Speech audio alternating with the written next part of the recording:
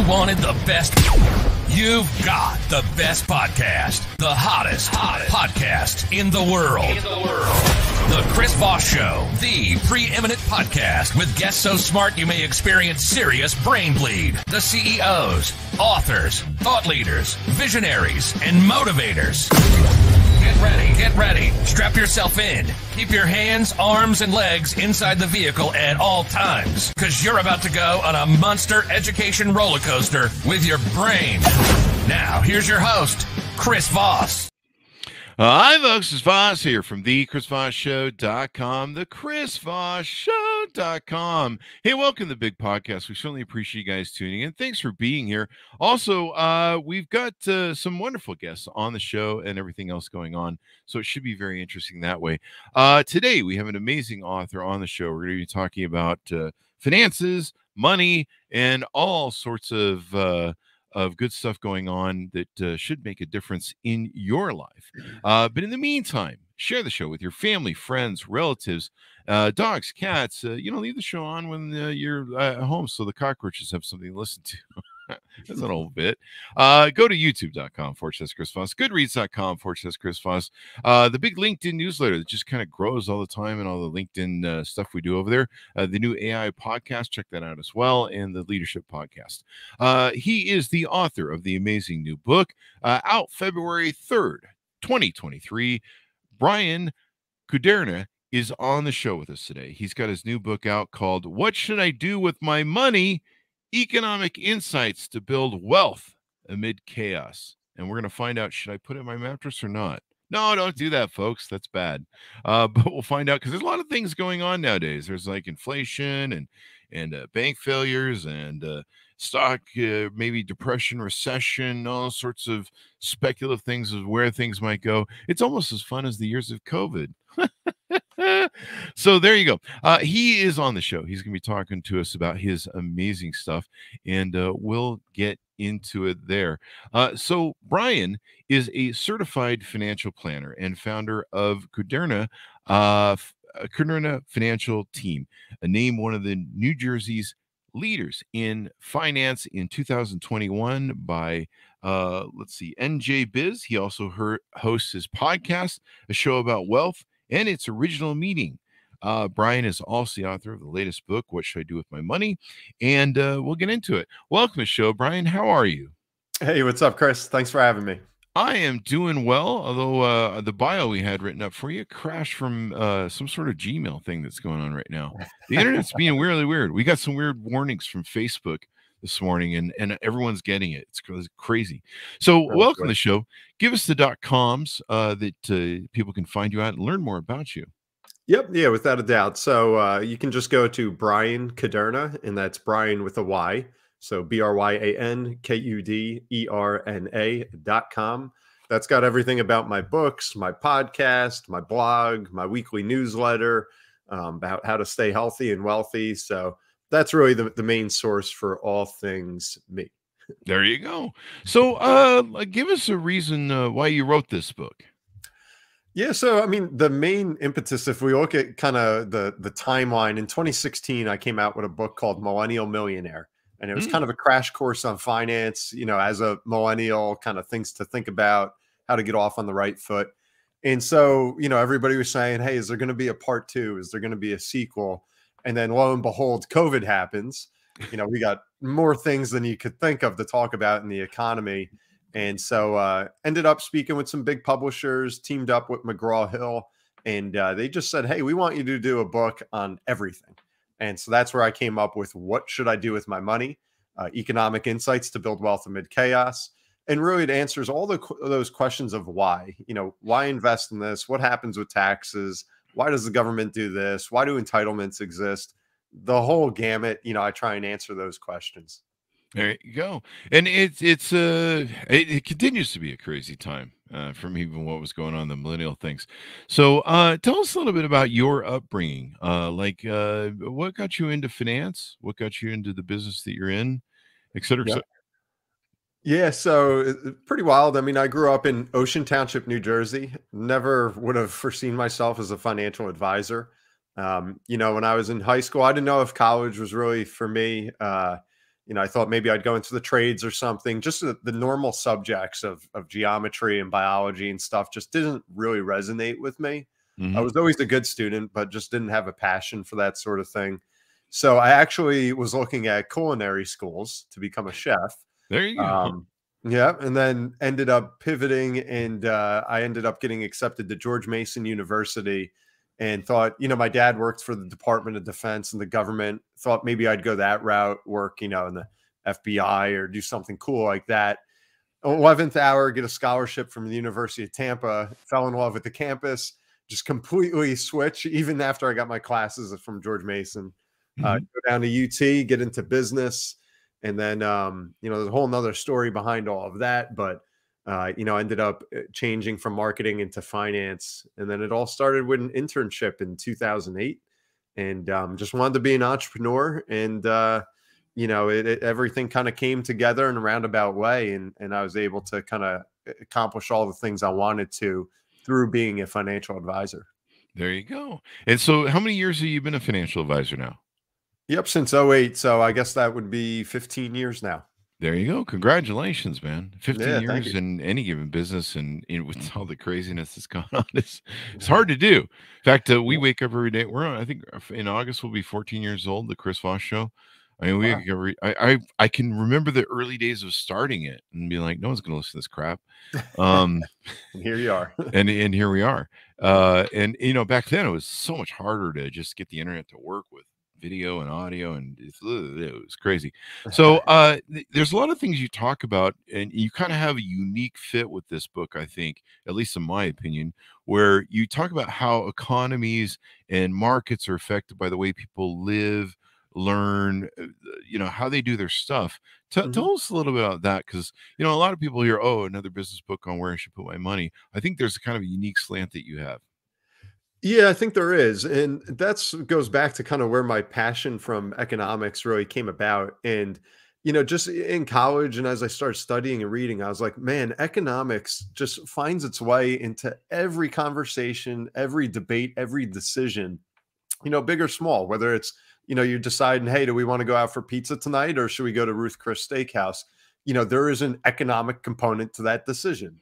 When Mhm. we decide, you know, are we going to get some oil from Venezuela? Are we going to get it from Russia? Or do we go back and, you know, speak with Saudi Arabia about, you know, what we're importing? That's an economic decision. And Mhm. so you have these microeconomies that all, you know, put together create macroeconomies. And it's all dictated by one of the things I reference in the book is an acronym called MICE, uh, which I actually got from a spy book on the CIA. But what MICE stands for is money, ideology, compromise, and ego. And these are four motives that we all have to some extent that kind of make us who we are and, and dictate, you know, how we make our decisions. And so as you take these 8 billion people, these 8 billion decision makers that make up the world, um, you know, that all these kind of uh, negotiations and compromises each day really guide economies and it, it's just fascinating when you get into it and i think as you learn more and more you see what exactly does that mean to me and my money There you go. And you talk about uh, a lot of the, oh God, what would you call them? Macroeconomic uh, influences, or you probably know the better word than I do. But you talk about population, entitlements, education, economic philosophy, environment, tech, war. Like you know, we're in this proxy war or whatever with uh, Russia. Uh, Yep. I didn't realize how important you know, like rain and sunflower seeds and like all the stuff that Ukraine was giving us and how centralized it was. You know, it was one of the top three producers on some of this stuff, or number one at one time. exactly Uh, religion, uh, that's kind of interesting. Uh, and I imagine that uh, religion also affects uh, macroeconomics. Is that what I'm looking for? Macropolitics and Yeah. economics yeah Um, no that's right and personal finance. Uh, and so you talk about all of these different things and how they're moving parts of this of this whole uh, conundrum we call an economy. yeah yeah and, and it's funny you bring that up chris because like people see the the index for the book and they're like wait a minute you're talking about big tech uh religion entitlements uh, you know going green and the earth and it's like what what does all this stuff have to do with my financial plan and then what i hear from readers after they're like reading it they're like how could you not include that because each one of these, it may not seem that way on the surface, but as you kind of, you know, peel back the layers of that onion, you start to see like, wow, these all play together and they all dictate the way that we live, the way that we learn, the way that we teach, the way that we spend our money, you know, what's important to us. And and that's where you have kind of this yin and yang of, you know, you might think somebody's, you know, all the way on the other side of the world, but then as you start to kind of dive into, you know, what makes the world go round, you you know, it's really not that far away. And that all comes back again to economics. Yeah. And and and uh, with the globalized economy that we live in, that makes all the difference in the uh, makes all the difference in the uh, uh, in how everything works, the, the moving parts, as it were. Uh, yep. It makes it, it it's it's hard to fathom. I mean, like like I said, when the Ukraine war broke out, and I was like, well, you know, it's Ukraine war in Europe, and I don't know much mm-hmm. about Ukraine. Uh, you know, I mean, no one, I don't, you know, human beings shouldn't be uh, put through that sort of horrific uh, war. Uh, and I thought we were over that kind of stuff, but uh, evidently humans don't learn things, which is why we do the show on, with historians. Um, and uh, but but to realize some of the impetuses is of Ukraine not being able to export grain, sunflower seeds were like a huge thing. I was like, what? And then yeah. you find out how much, you know, you, you, at first you go like sunflower seeds. Well, you know, I can live without that for a while, and until this whole war gets worked out. Uh, uh, and then you realize how much of that stuff goes into so many products. Like it's just it's it's infection. It's in what's the right word I'm looking yep. for anyway. Um, but it's it, all interconnected. Yeah, it's all interconnected. There you go. That's yep. the perfect word.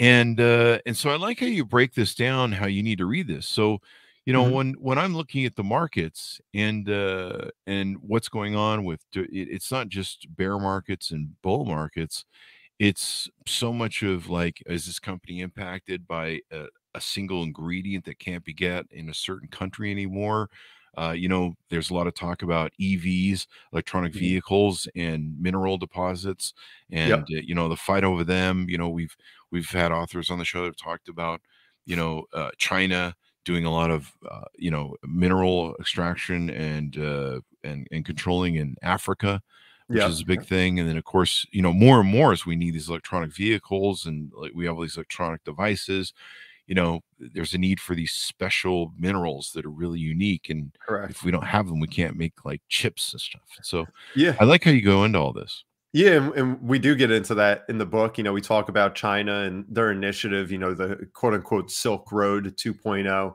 um, where essentially, you know, what they're trying to do, this master plan is to find you know all the different areas that have these rare you know minerals and earth deposits that um, you know are necessary to like you mentioned the the EVs and the semiconductors and things of that nature where you know ages ago we were like oh it's just a rock you know who who cares you know what's in it? And now we find out you know there could be these rare earth metals that are critical uh, to some of these really high tech you know products that we rely so heavily on.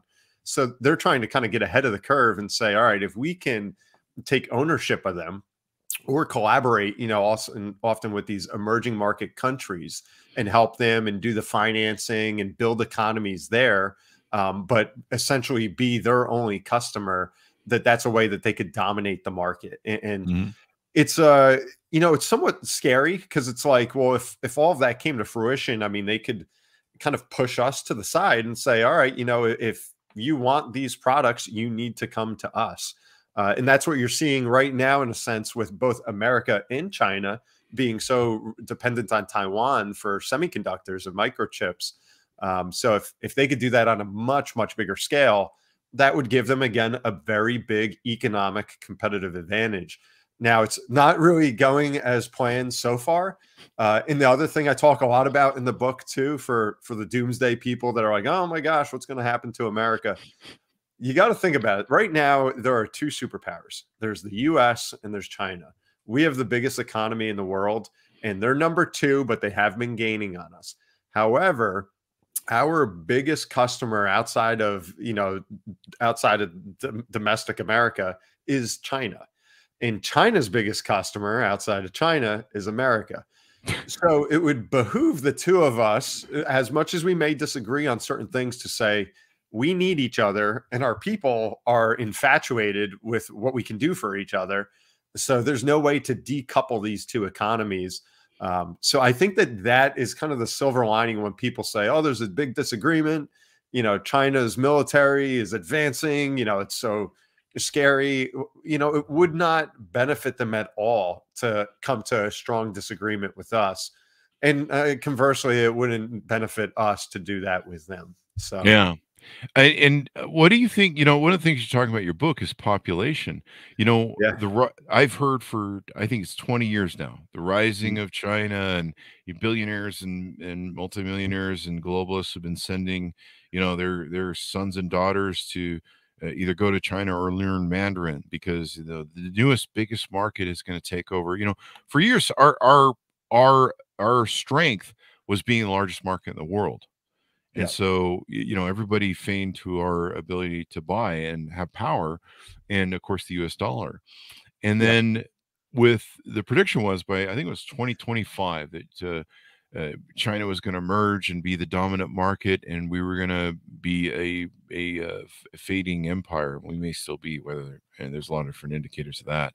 Yeah. But uh, what's happened that's kind of interesting to me is is you know China was faking I think for at least 10 to 15 years its GDP by building stuff they didn't need to be building and uh and that was creating a bubble for them and then on top Sure. of that the one child policy uh Yeah. created a bubble for them as well. They now have like I think it's a 3 to 1 ratio of eligible men to eligible women. Um they actually have these weddings where they or not these they have these huge convention events where they actually bid out the wives the potential wives and Wow. and, and they have so many men and they can't mate and they can't have children so they're actually uh they've actually broken a decline as a declining Mhm. population and it looks like they're going to go kind of japanish if you're familiar with what's going on there where the Sure. the you new younger generation can't support the older generation Exactly. Yep. in retirement and everything else. We saw that in England uh, after 2008 crashes, where they had to kind of go after pensions. Yeah. And then China, uh, India just recently emerged as the largest, fastest growing uh, population in the world, bigger Yeah. than China, and of course, bigger than us. And Yeah. so it's kind of interesting. And, and so I like how you talk about these dynamics, and people need to understand them when they make their investments and what they're investing Sure. in. Well, exactly, because at the end of the day, you're investing in people, you know, and it Mhm. may not always seem like it when you go buy Apple or Microsoft or Facebook or Nike or whatever, but they're all just service and services and products for people at the end of the day. Mhm. And so that's why the whole book starts with chapter one is population. and there's a lot of things we can talk on that if you want, but you know, the fact of the matter is our earth is not growing at all. All right. It- It's been the same size for millennia. But if you look at population growth, the numbers, the charts I put in there are just eye opening of how Wow. it took thousands and thousands of years to reach a billion people. Then it Mhm. just took another hundred years to reach 2 billion people, you know, in, at the turn of the 20th century. And then, you know, we fast forward to where we are now in 2023 with 8 billion people you know these are all people that we need to care for there's Mhm. givers and there's takers there's people that are giving to the economy and then one's taking from it and like you alluded to you know we're we're in a shift right now with the baby boomers where you know these entitlements that have become kind of the bedrock of the american economy are really under pressure. And so it's like are we going to keep them all solvent for these baby boomers? And are we going to ask you know gen z and millennials to really step it up and, and you know be able to fund these programs? Or what are we going to do? And that same kind of conundrum like you mentioned is really unfolding in japan in a bad way. And china is kind of like us when you look at like the aging demographics but just much much bigger than us and so we're all right there So, uh, do you have any outlooks for what we're what cycle we're in? Uh, we were talking before the show in the green room that uh, the they just came out with the uh, new sort of uh, what's going on with inflation. I believe it's fallen down to 4.9 percent, which is still above the Fed Fed's projected rate that they want to hit to balance the economy.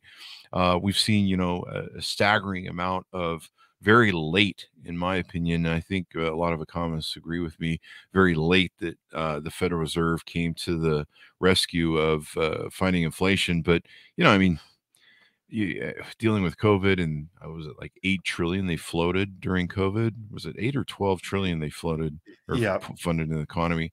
Mhm. Um, you know, it's we're in a game that no one's played before. In fact, what's even weirder about this time that I think is interesting, and correct me if I'm wrong, please, because you're the pro. Um, you know, uh, we're in a weird kind of quote unquote recession where we have, you know, this incredible amount of surge of demand for employees. We have all these companies laying off, and we and we have, you know, projected uh, everything's going to go to hell, but we have this surge of top paid you know highly paid employees that are in demand and i know one of the problems of that future to my understanding is a lot of the baby boomers and late gen xers left the economy and retired early. They just said fuck it we're out with covid. And so there's actually a glut of of employees and so Yeah. it's a really weird recession. I mean i own a mortgage company for 20 years. I used to sit and live and die on greenspan's thing with millions of dollars in my portfolio.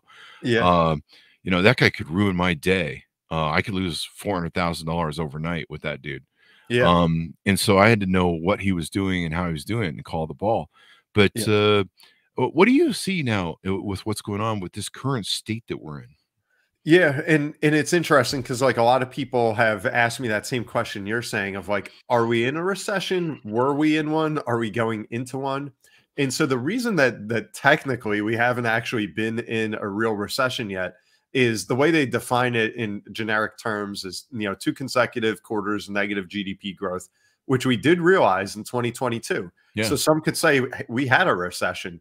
However, the other big metric is unemployment and the unemployment number has been you know from an economic standpoint awesome all right It's Mhm. been very very low all throughout so like you said strong labor market but a lot of other things looking a little bit wacky so like what gives here and i think you know and uh, like you mentioned it's so easy to get frustrated with like how did the fed not see this coming? Like how are you telling me inflation was transitory when the government just was like blowing trillions of dollars like it was absolutely nothing? Um and i mean it was almost like becoming comical. So it's like you had to know that inflation was on the way but i understand it is easy to to kind of monday morning quarterback this we were off the heels of just a historic pandemic so nevertheless I, they were late to the game they should have been in it in 2021 they weren't inflation got much worse and so i think you know, Fed Chairman Jerome Powell kind of said, like, all right, you think I was late to the game? You think I don't have the guts to to play this and raise rates? That he just kind of let the dogs loose last year. And I think that's why those rate hikes were so aggressive. Yeah. And continuing where a lot of people said, hey, you know, you let the dogs loose. Let's see how it affects the economy now. It, you know, it could be 12 to 18 months for interest rate adjustments to matriculate through the economy. So let's let this unfold a bit where instead he said, no, we're going to keep the pedal to the floor right into 2023. And, uh, you know, here we are. Like you said, you know, fortunately, inflation has been coming down. We saw this morning it's 4.9% year over year, uh, Mhm. which is the slowest in over two years. So that's a Good. good thing. Yeah. Um, so you're probably going to see a pause now. Uh, and now it's kind of like, did they negotiate that landing perfectly where we're going to get that soft landing? Or did they go a little too far and we could see some volatility now in the markets? Uh, there's just so much. So you have that to deal with. And then meanwhile, it's almost like that's yesterday's news. Now we're on to are we going to hit the debt ceiling? And, you know, there's always something new that we're dealing with. And, and that's why, I, as a financial advisor, I'm always telling clients, you know, keep your eye on the ball, keep a long term vision, and do not get emotional because every night you turn on the news, there's plenty to freak out about. There you go. Uh, what do you think about these bank failures? Now, my understanding is, uh, you know, this has a lot to do with the rate increases, but also has to do with a lot of uh, banks holding uh, commercial real estate. One of the problems that is in going on in San Francisco, and San Francisco gets a lot of bashing for stuff, but people don't understand. I think what's going on on the on the ground, and thirty, I think it's a little bit more than thirty percent of downtown San Francisco is empty and vacant and it's not because of you know people throw all sorts of political crap at it because they i don't know they listen to memes and they have no idea what's going on but on the ground COVID basically drove people from office buildings and they haven't returned. Mhm. And so they're literally sitting on 30% of the uh, of the office buildings in San Francisco that are empty and people just aren't coming back. And and there's a lot of real estate around the country that's held that way and a lot of that is bank held by Yeah. banks. And we're seeing these uh massive bank failures. In fact, it's kind of quieted on the news, but they're still happening yeah, and uh, uh, part of it is part of to my understanding is, is there's a lot of trillion dollars in debt that or not trillion dollars in debt trillion dollars trillions of dollars in cash that have been removed from the system like people are starting to hoard uh the first republic thing a hundred billion dollars uh on a bank run that people did Yeah. on the bank to withdraw stuff once it looked like it was scary Mhm. and uh, it's kind of interesting what's happening with that. On the meantime, you've had uh, the used market. I know is crashed. The used car market is crashing. Uh, so that's interesting, and that's kind of the intent of what the Fed does. But it's really crashing hard because it was really to an extreme. But on, then on the flip side, I saw a thing that um, uh, sales of homes are up. But then you have Yeah. people like I think it's like BlackRock who are like hoarding homes, and so it's really. I mean, it's the dynamics of this market are crazy. Yeah, and, there's so many things there, Chris, that you, you just touched on. I could do uh, an episode on each one of them. No, we could, we could be for for hours. Yeah, exactly. And um, it's just it's just the speed in which our economy moves today. It, it- Mm. We're at breakneck speed in the transfer of information, the transfer of wealth and money. Uh, so y- you know it, it's a great thing. You know when things are going good, we can expand our economy very quickly. That's awesome. But when things go bad, it can get out of control sometimes before we can get our hands around it. That's what you saw with the banks. That's the only way that a bank run happens is when too many people too quickly get emotional and say, "Oh my gosh, what if something goes on here? Get your money out." That's what happened to you know Silicon Valley Bank. Mhm. They were the first one. Um, I read the uh, the Federal Reserve came out with their bank report a couple weeks ago on that, or the the autopsy report they call it. And you know there were a few things there. They were unique in that they were so concentrated in their depositor base uh, with you know startups, venture capital, and tech that it was kind of like you just invite like a little clique to your party, and if they say, you know what, I don't think that party's going to be so hot, if they leave, well, the party's over. There's nobody there. That's what happened to Silicon Valley Bank because on social media and through a couple emails with their their biggest customers, it spread like wildfire that they weren't in the best shape. And then it was an overreaction that caused the bank run. Having said that, you know, they weren't well capitalized. That could have been a lot better because there was deregulation around the banking system, you know, during COVID. That's a whole other thing we could talk about. And then the other thing is they didn't manage their interest rate risk too well. Um, so it's kind of like this little bit of a perfect storm, you know, that caused that. And then there was a trickle, you know, to uh, Signature and then to First Republic. But uh, the thing I always tell people is it's like when they went to to uh, Silicon Valley Bank and they said, you know, I want to take out my twenty million dollar deposit. They didn't take that out and just light it on fire. They took it out and they moved it to another bank.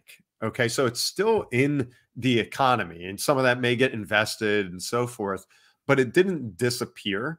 And I think that's important to recognize. And that's how, you know, JP Morgan was able to go buy First Republic is, you know, I think you're going to see a system in which the very big, very well capitalized banks are going to have to pitch in to help out their their smaller, you know, the minor leagues, the regional banks. And then the government's also always got to be there as a backstop, which they have been.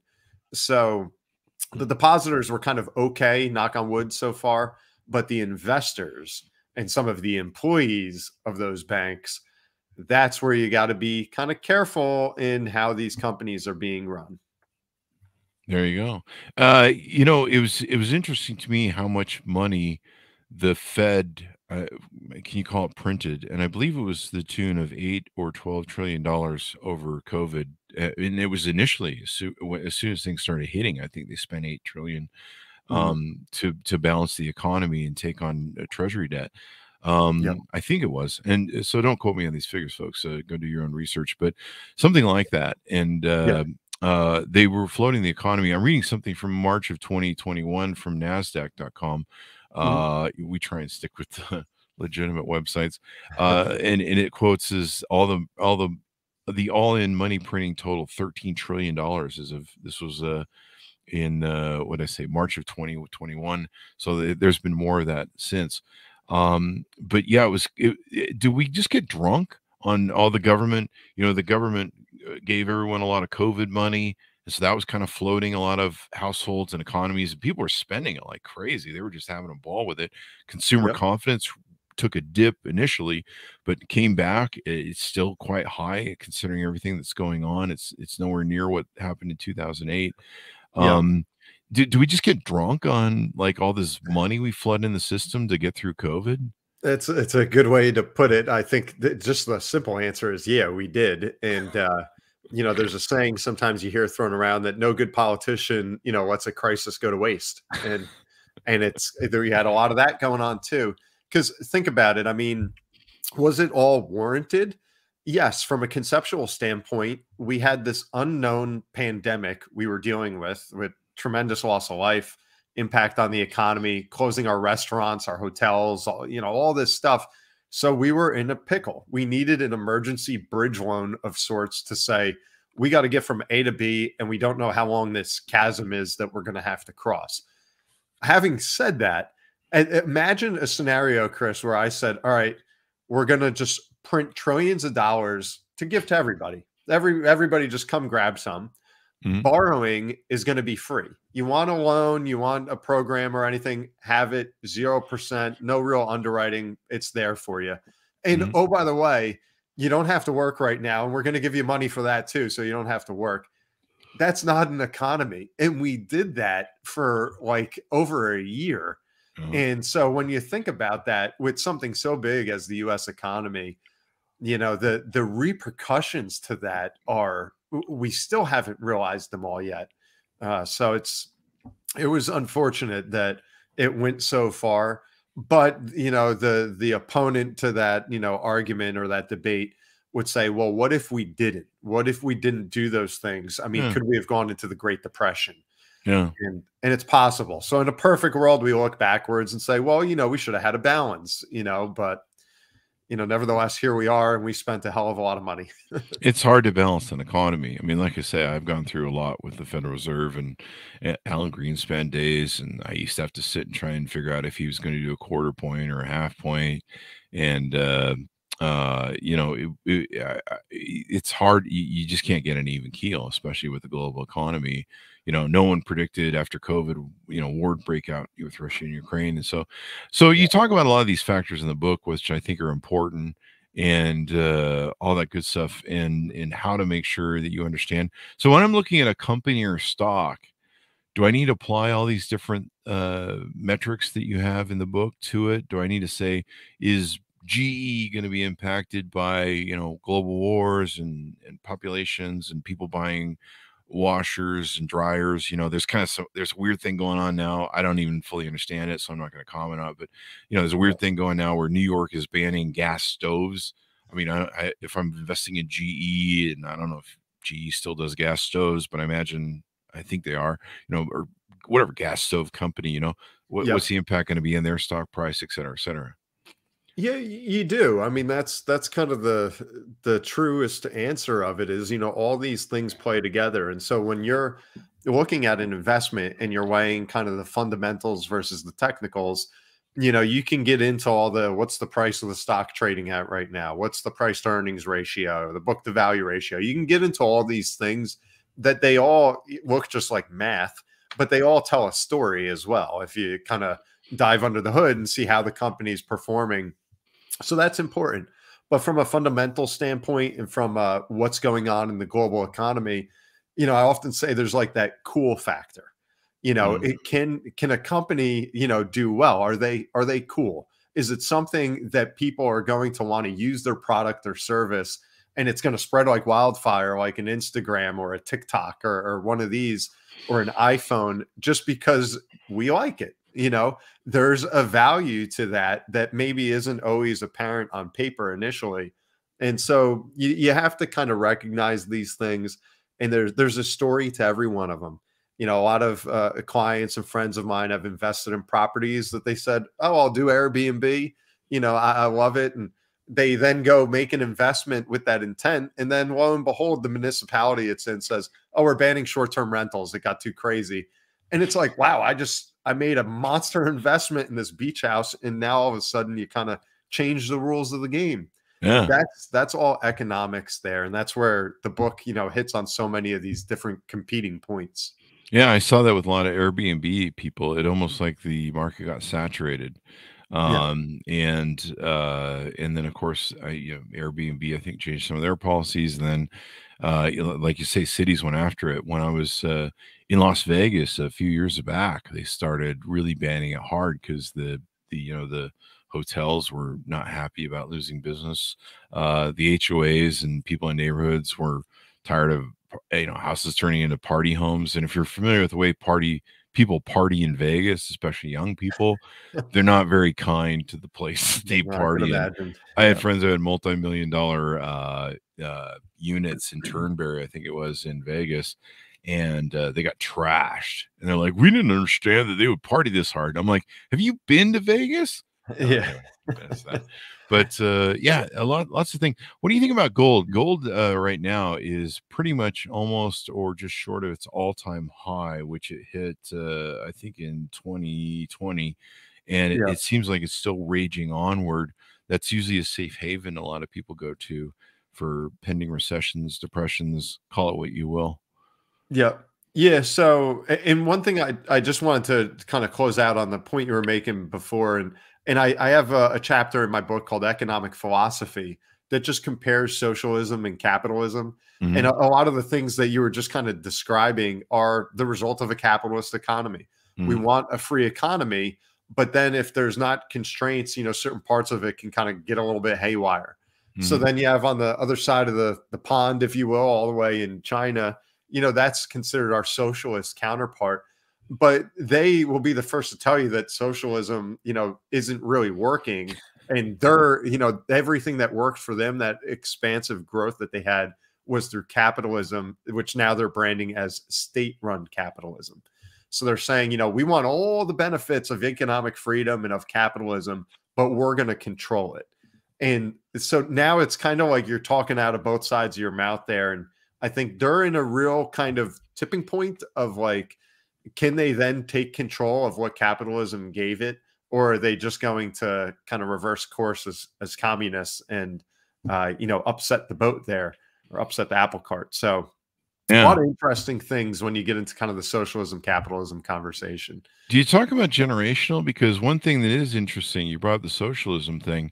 It's very interesting to see this new Gen Z, uh, you know, the participation trophy generation who loves having everything handed to them for free.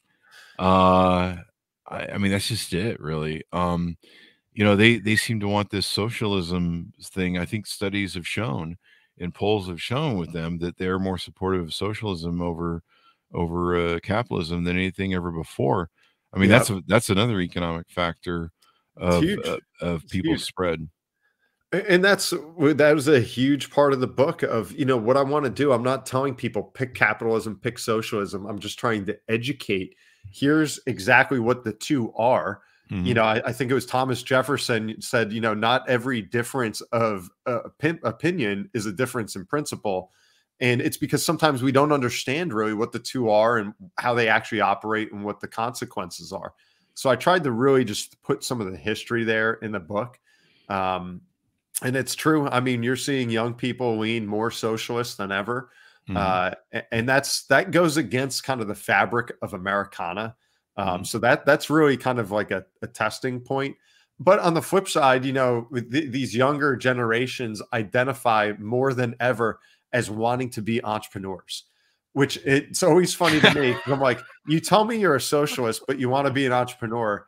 That's like you telling me, you know, I'm a vegetarian, but you know, I want to go to Five Guys tonight for a burger. It, it, it, like doesn't totally add up.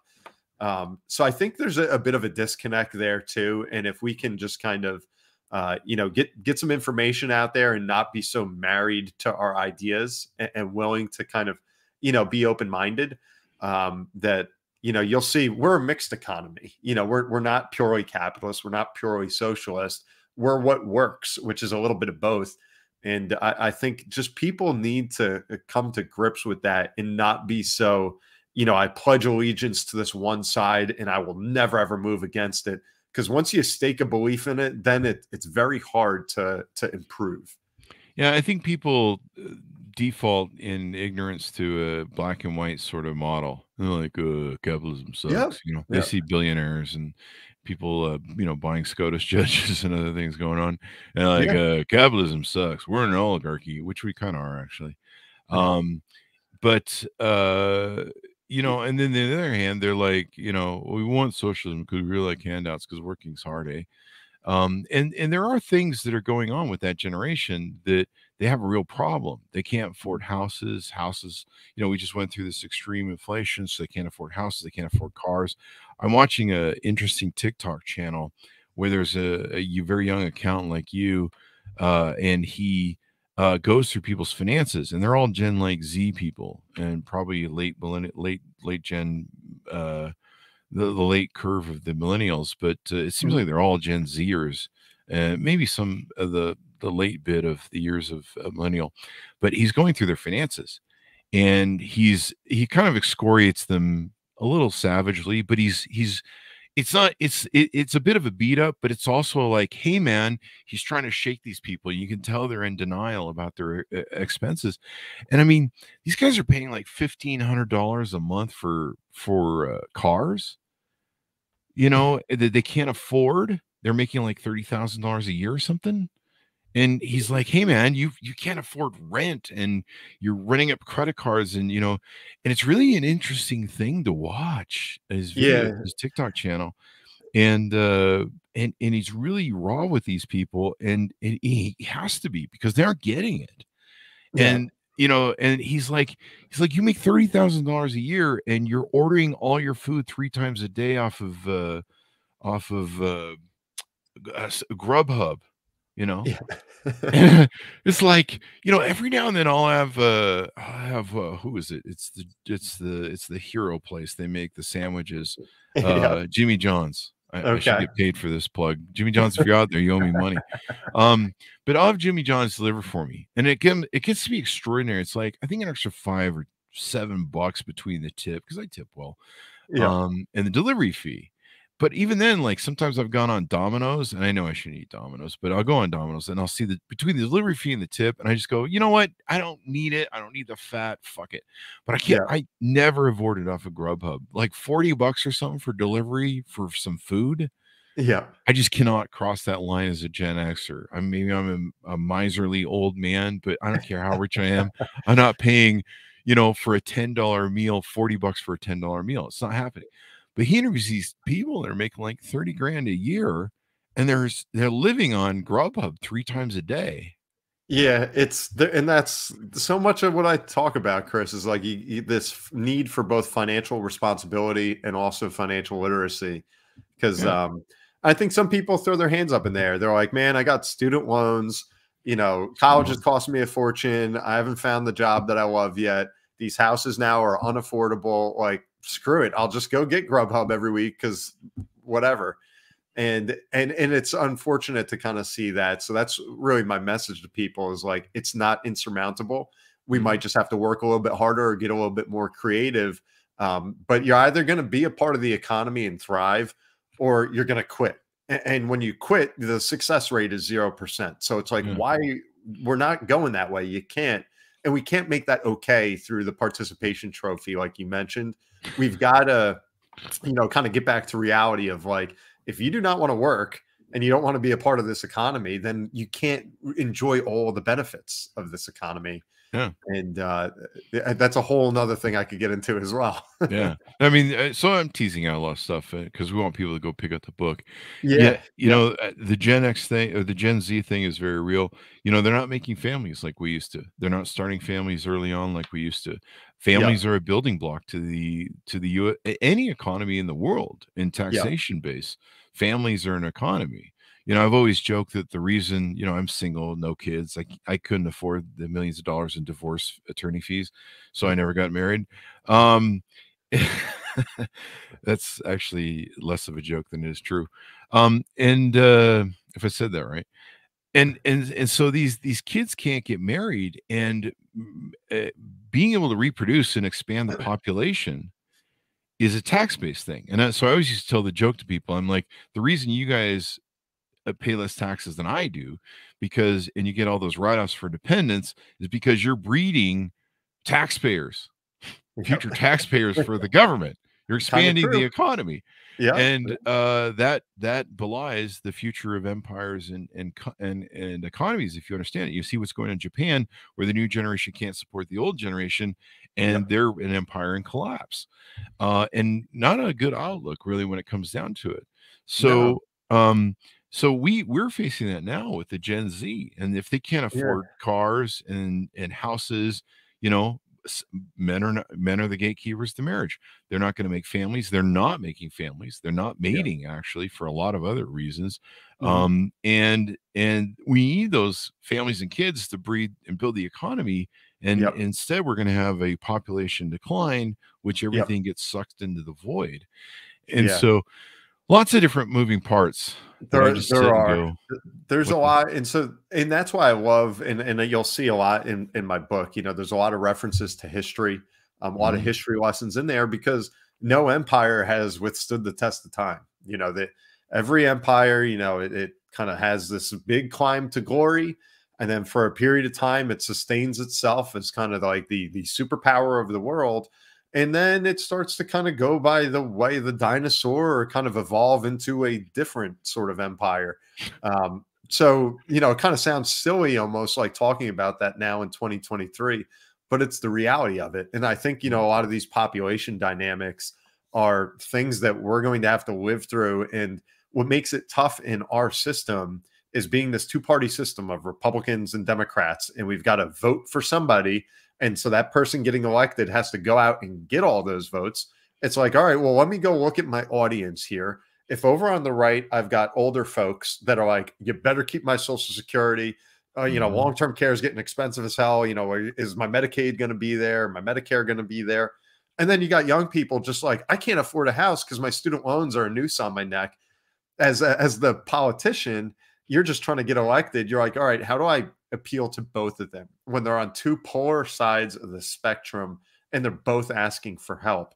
And and so it's a, it's a tough thing to kind of navigate and uh I'll tell you what the the one thing and I talk in the book about this too that has been our strength kind of our secret sauce for America has been immigration we have always been the land of the free. We've always welcomed people. And frankly, for like a lot of the 1900s and, and 1800s, even in the later part of the century, we were frankly a brain drain on the world where yeah. we said, let's take the, the, the wealthiest, the brightest, the smartest, the hardest working, and put them in this place called America that has tons of resources and just watch it go crazy.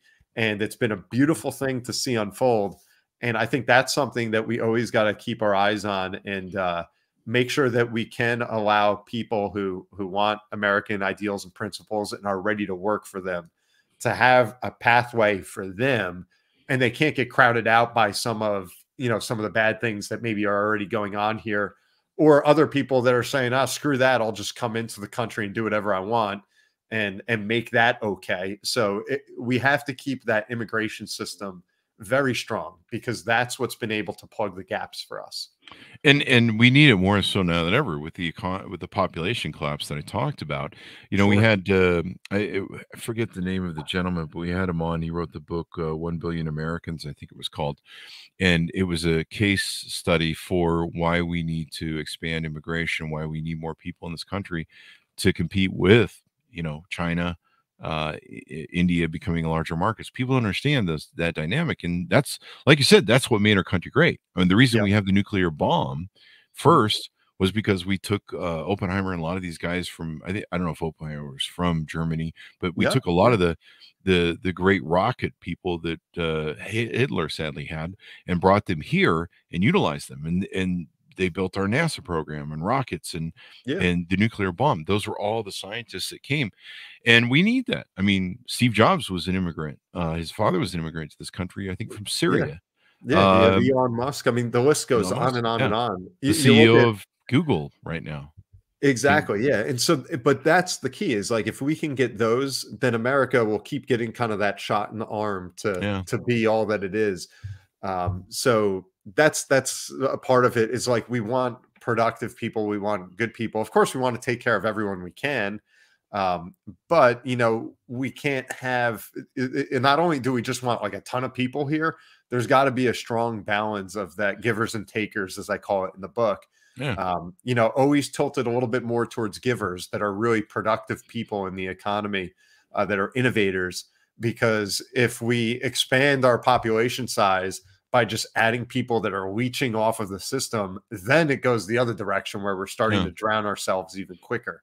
Uh, Well, there's a lot of misnomers about immigrants and how they come in the system and whether they're vetted or not. And there's a lot of political people who take advantage of that and Of and course, fear mongering, and of course funded by you know uh, a lot of uh, billionaires that uh, slant that way. Um, and and you know what what's interesting to me because that surge is there's a surge of immigrants coming now. You know now that kind of COVID's over and I think Title 42 is relaxing. Mhm. Um, and it's interesting to me that Americans, uh, some Americans are like, well, we can't have more immigrants coming to the country because they'll take our jobs. And they don't understand that, like I mentioned earlier in the show, the, the boomers and, and late Gen Xers like me retired early and they left the market. And we knew that when they left the market, I've been hearing about this for 40 years, that when these people left the market, we were going to have this upside down glut. And they Mhm. left the market earlier COVID. And you know, you've got people like, I don't want to have to pay, you know, five, four to five dollars for eggs. And you're like, well, somebody's got to pick those eggs, right? and Americans don't want to pick. I last time I checked, American children are like, yeah, I'm not doing farm work. Uh, no. Yeah. So you know, we need to fill the glut that's been lost from that thing, and we need to expand our economy into a population. If we've got a declining one from you know all the all the stuff we talked about in the show, we've kind of thrown in. So uh, let's round out the show. Anything you more you want to tease out on the book before we go?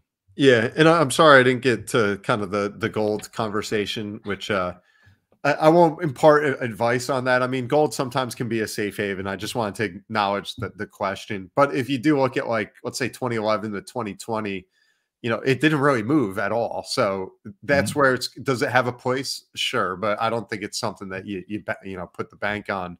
It's just one asset class in a portfolio.